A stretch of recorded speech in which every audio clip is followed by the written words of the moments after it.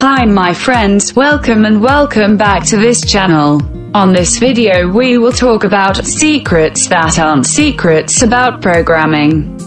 A few interesting facts about programming. Some tips for things to change.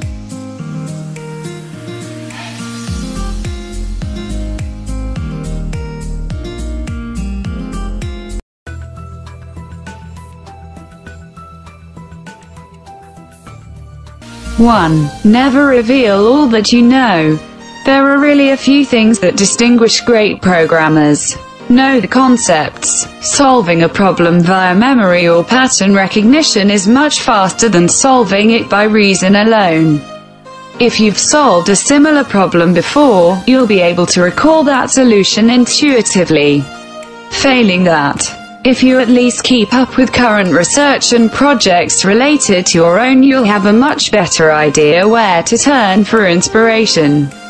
Solving a problem automatically might seem like magic to others but it's really an application of practice practice practice, as Miguel Paraz suggests. 2. Know the tools. This is not an end in itself but a way to maintain flow while programming. Every time you have to think about how to make your editor or version control system or debugger do what you want. It bumps you out of your higher level thought process. These micro-interruptions are small, but they add up quickly. People who learn their tools practice using their tools and automate things that the tools can't do by themselves can easily be several times as productive as those who do none of those things. 3. Manage time. Again it comes back to flow. If you want to write code, write code. If you want to review a bunch of patches, review a bunch of patches. If you want to brainstorm on new algorithms, you get the idea. Don't try to do all three together, get your mindset to do one thing, then do that thing for a good block of time before you switch to doing something else. 4. Prioritize. This is the area where constantly people fail. Every problem worth tackling has many facets. Often, solving one part of the problem will make solving the others easier. Therefore, getting the order right really matters. I'm afraid there's no simple answer for how to recognize that order.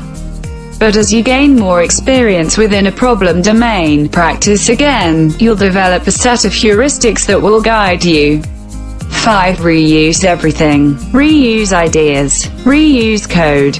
Every time you turn a new problem into a problem you already know how to solve, and computing is full of such opportunities, you can save time. Don't worry if the transformed solution isn't absolutely perfect for the current problem. You can refine later if you really need to. And most often you'll find that you're better off moving on to the next problem. A lot of these really come down to efficiency. As you move through more problems per day, you'll gain more experience per day, which will let you move through more problems per day, and so on. It's a feedback loop, once you get on its good side. Your effectiveness and value will increase drastically.